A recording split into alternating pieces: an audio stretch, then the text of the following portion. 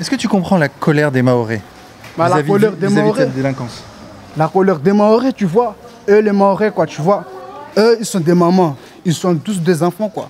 Tu vois, eux-mêmes, ils devraient comprendre, quoi. Ils, veulent- ils devraient se lever et comprendre pourquoi les gens réagissent comme ça, plus de reprises, quoi, tu vois. Mais ils se plaignent directement, les délinquants, les voyous, des assassins et tout et tout. Et même, ils, ils le savent. Que même son enfant, comme il ne se peut pas déplacer pour aller dans une autre village sans être agressé ou sans prendre de risques, quoi. Tu vois, même nous ici, même ici, même les Anjouanais prennent des risques. Tout le monde prend des risques, quoi, tu vois. À cause de quoi? Bah, moi, je suis un jeune de Kaoni.